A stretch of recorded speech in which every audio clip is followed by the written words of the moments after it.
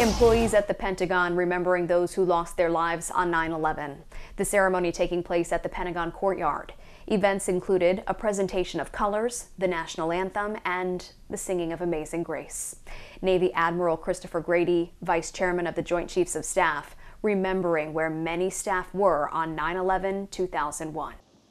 So, on this 21st anniversary of a day that shattered many and shaped many more, let us honor those we lost, those who helped us recover, and those who carry our spirit forward. The ceremony was open to all Pentagon employees.